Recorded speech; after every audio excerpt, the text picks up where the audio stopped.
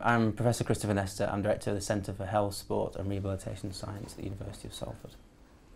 My interest in research uh, started probably in my second year at podiatry course, where just part of the content of the lectures I wanted to, uh, to better understand and begin to question some of the things we were being uh, taught. And so in the second and third year I talked to some of the lecturing staff about staying on and doing a master's and then a PhD. And I was fortunate enough at the time there were some funding opportunities which uh, the staff uh, supported us with.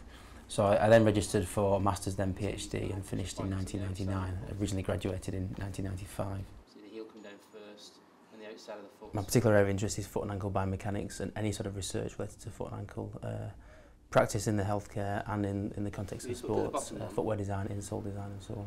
The key projects I'm working on at the minute, uh, we do some basic science research which is related to how feet behave biomechanically uh, and that's related to uh, some collaborations both in Shanghai and in Sweden and previously in the US, where we're developing unique instruments to study how feet uh, move.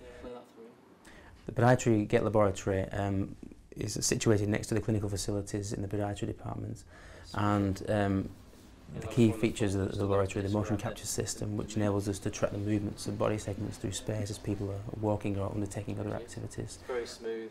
Plates which measure the force applied to the body uh, under the feet, uh, EMG which allows us to look at the activity of muscles during a particular task, and the foot pressure system which looks at the distribution of load underneath the foot. And using those, we can better understand the clinical problems that the patients might be presenting with and better understand what sort of orthotic, footwear, surgical or physical therapy intervention might be better required.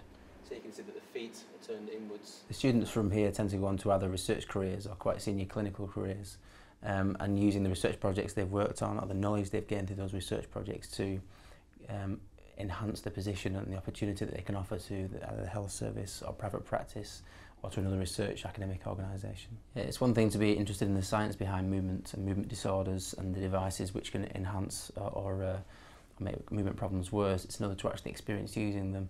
So being involved in sport and running and doing the London Marathon is all part of um, making sure our ideas and scientific uh, projects are, are quite well grounded in, in the experience of people actually using uh, biomechanics in their day-to-day -day life, whether it's uh, simply walking or whether it's undertaking sport activities. Well, two or three years ago, uh, some of the podiatry members of staff who were prescribing orthotic devices for a range of foot and lower limb healthcare problems identified that a lot of the products that are on the marketplace, both for professionals and consumers, uh, weren't really up to the standards we would expect from a professional point of view.